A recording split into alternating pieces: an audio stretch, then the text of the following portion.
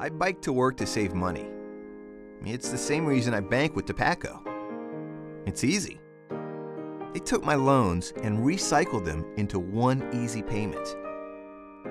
I started biking to save, but now I do it for that feeling.